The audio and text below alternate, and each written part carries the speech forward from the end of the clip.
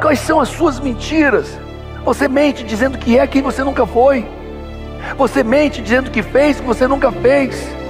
Você mente dizendo que tem o que nunca teve. A mentira também vem de um grito desesperado para que nós percebamos e os outros percebam o valor em nós mesmos, quando nem nós vemos esse valor. De onde vem a mentira? Da necessidade de vermos valor em nós mesmos. De onde vem a mentira? Querendo convencer os outros que eu sou o que eu não sou. De onde vem a mentira? Querendo convencer os outros que eu tenho o que eu não tenho, que eu faço o que eu não faço. Por quê? Porque essa pessoa não sabe quem ela é, ela não sabe qual é a sua real identidade. Você trata uma pessoa honesta da mesma maneira que você trata uma pessoa desonesta? Não, eu estou querendo dizer que a maneira pela qual você percebe uma pessoa vai determinar a maneira pela qual você a trata. Então, se eu parto desse pressuposto, a maneira pela qual você se percebe vai determinar a maneira como você se trata. A maneira que você se percebe determina a maneira como você se ama. Se você olha para você e se vê uma pessoa chata, você se trata de uma maneira. Se você se vê uma pessoa desinteressante, você se trata de uma maneira. Nosso bem-querer é determinado pela maneira a qual você se enxerga. Se você se enxerga como uma pessoa de valor, você se ama. Se você se enxerga como uma pessoa sem valor, você não se ama. Quando eu reconhecer quem eu sou, todo o valor de quem eu sou, amigo, eu não vou precisar de ninguém me amando, porque eu já me amo. E aí, se eu for entender a minha imagem em Deus, e aí eu vou para um nível muito, muito, muito, muito maior. Todo ser humano precisa encontrar nele valor. Todo mundo precisa encontrar em si valor. Valor, porque se eu não me amar nada, não sobrevivo. Eu estou sendo literal. Se eu não ver valor em mim, eu não me alimento. Se eu não ver valor em mim, algum valor, eu vou andar de motocicleta a 500 km por hora. Se eu não ver valor em mim, eu vou machucar todo mundo ao meu redor. Eu vou me furar. Eu preciso ver valor em mim. Uma pessoa sã, o valor que está nela é quem ela é. Você é generoso. Você é amigo, leal, verdadeiro. Você é empático. Você é justo. Você é persistente. Você tem valor em quem você é? Porque se você não tiver valor em quem você é, o seu valor vai ter que estar em que, no que você faz. Muitas pessoas não encontram valor nelas próprias. E por não encontrar valor nelas próprias, elas precisam estar sempre fazendo algo. Fazendo algo para ter valor. Para que alguém veja valor no que ela faz. A minha pergunta: tem valor está no que você é ou no que você faz? Mas as pessoas que não têm valor em si, eles dão o nome a eles do que eles fazem.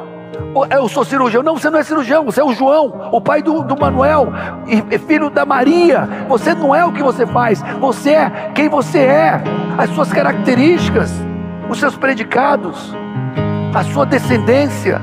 Mas as pessoas que não têm valor em si, elas se chamam pelo que elas fazem. A base deveria ser o eu sou. Como é que Deus se intitula? Eu sou, como é que Jesus chamava? O eu sou.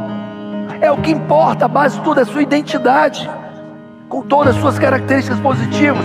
Mas se você não vê características em você, não vê valor em você, em quem você é, você vai ter que desesperadamente buscar o que você faz. E talvez você passe o dia inteiro fazendo algo fazendo. Faz para o filho, faz para o marido, faz para a esposa, faz para o amigo, faz para você. Não tem que fazer, faz para alguma coisa.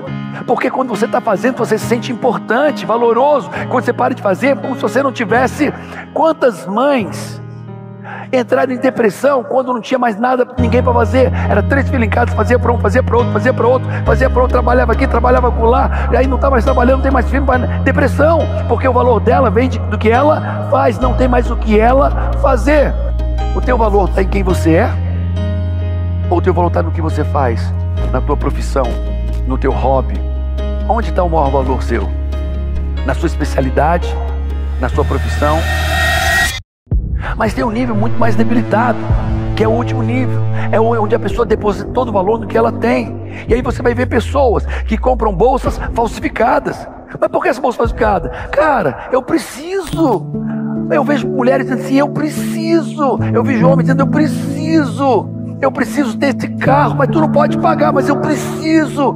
Porque ele não sabe, mas é porque ele não tem valor em quem ele é, nem faz nada interessante. Já que eu não sou nada, não faço nada de legal, pelo menos eu preciso ter para compor o meu valor. E está lá eu andando de bolsa falsificada.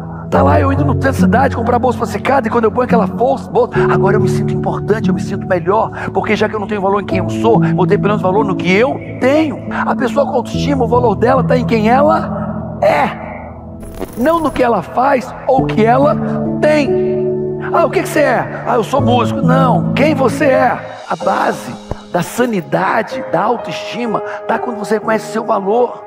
Eu sei quem eu sou, eu sou amigo, eu sou leal, eu sou disposto, eu sou amoroso, eu sou generoso, eu sou firme, eu sou persistente, eu sou inteligente, eu sou ambicioso, eu sou determinado, e eu vou criando e entendendo, e eu olho para quem eu sou diz: caraca, que legal, eu admiro quem eu sou, eu gosto de quem eu sou, não apenas do que eu faço, não apenas do que eu tenho, mas eu gosto mais do que tudo isso, eu gosto do que eu sou. O valor dele está na profissão dele, no que ele faz aqui, no que ele faz ali. E esse cara chega aos seus 65 anos e se aposenta, não faz mais aquilo. O que, é que acontece com essa pessoa? Depressão, morte. Conheci outras pessoas que o valor estava no que tinha, e quando perdeu, depressão. Quantas pessoas pularam, se mataram, depois perderam seu patrimônio? Por que, que pessoas se mataram, depois perderam seu patrimônio, seu dinheiro? Por quê? Porque o valor que estava nele não estava em quem ele era, nem o que ele fazia, estava no que ele tinha. Por que, que tantas pessoas se matam para andar de carros que não podem pagar? Por que, que pessoas vão no centro das cidades, na 25 de março, compra bolsa falsificada, relógio falsificado, roupa falsificada e fica lá esbanjando sua, toda a sua mentira, toda a sua fake news? Por quê? Porque você não vê valor em você. Como você não vê o valor suficiente em você, você quer compor. É, quais são as suas mentiras? Você mente dizendo que é quem você nunca foi. Você mente dizendo que fez o que você nunca fez. Você mente dizendo que tem o que nunca teve. A mentira também vem de um grito desesperado para que nós percebamos e os outros percebam o valor em nós mesmos, quando nem nós vemos esse valor. De onde vem a mentira? Da necessidade de vermos valor em nós mesmos. De onde vem a mentira? Querendo convencer os outros que eu sou o que eu não sou. De onde vem a mentira? Querendo convencer os outros que eu tenho o que eu não tenho, que eu faço o que eu não faço. Porque essa pessoa não sabe quem ela é, ela não sabe qual é a sua real identidade.